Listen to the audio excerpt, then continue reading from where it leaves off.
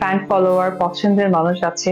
আমি নিজের হাত দিয়ে বাবা ছেলের এমন দৃশ্য ধারণ করেছি। সত্যিকার অর্থে বাবা ছেলেকে এমনভাবে দেখতে অনেক বেশি ভালো লাগে। আব্রাহাম খান জয় এবং শাকিব খানের প্রশংসা করে একই বলছে এবার অপবিশ্বাস। প্রিয় দর্শক, এ বিষয়ে বিস্তারিত দেখুন পুরো ভিডিওতে। চিত্রনায়িকা অপবিশ্বাস এবং সুপারস্টার শাকিব খানের একমাত্র ছেলে আব্রাহাম খান জয়। সে আব্রাহাম খান জয়ের গত সাতাশে সেপ্টেম্বর জন্মদিন গেছে।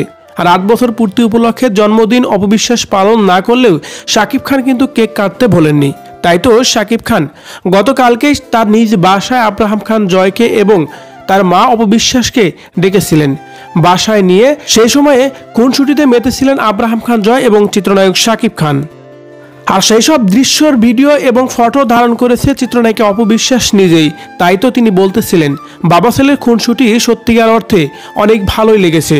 তাই তো নিজের হাতেই এইসব দৃশ্য ধারণ করে রেখেছি। যেন ছোট্ট আব্রাহাম খান জয় বড় হয়ে দেখতে পারে সত্যিকার অর্থে তার বাবা তাকে কতটা ভালোবেসেছিল। অন্যদিকে শাকিব খান এবং অপবিশ্বাসের মধ্যে ডিভোর্স হলেও ছেলের কারণেই সাকিবের সাথে সবসময় যোগাযোগ আছে এবং যে কোনো মুহূর্তে যে কোনো কাজের উদ্দেশ্যে সাকিব খানের বাসায় অপবিশ্বাসকে ডাকা হয়।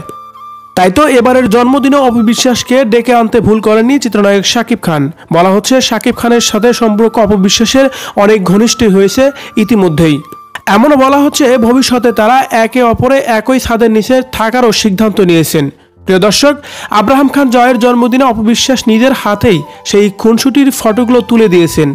এবং কি, অপবিশ্বাস এবং শাকিব খানকে নিয়ে যেসব মন্তব্য করা হচ্ছে, এসব মন্তব্যকে আপনি কীভাবে দেখছেন? কমেন্ট করে জানিয়ে দিন কমেন্ট বক্সে।